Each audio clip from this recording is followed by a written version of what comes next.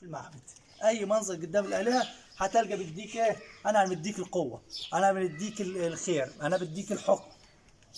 والملك دايما بيدي المعد ده بيقول لك أنا إيه؟ أنا بحكم المعد بالنسبة للجماعة العبادة برضه إحنا ممكن نعمل يوم لل- للحاجات اللي بتتكلم عن العبادة. يقول لك إيه؟ الآلهة دي فالشهر الحق يقول لك إيه الفرق بين الديانة المصرية القديمة والديانة البوذية؟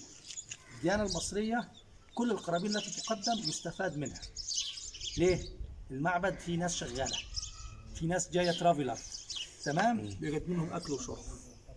فأي حاجة جاية الندور الندر يعني كل ده جاي للمعبد الناس بتستفيد منه. الديانه البوذية يجيب القربان ويحطه قدام التمثال ياخد له ثلاث أربع أيام يعفن يروح رميه هنا الآلهة مش عايزة تاكل وتشرب هي الآلهة عايزة الناس تتبسط.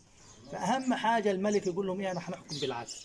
يقول لك إيه البشر يتغذون ويأكلون ويشربون الحياة العادية.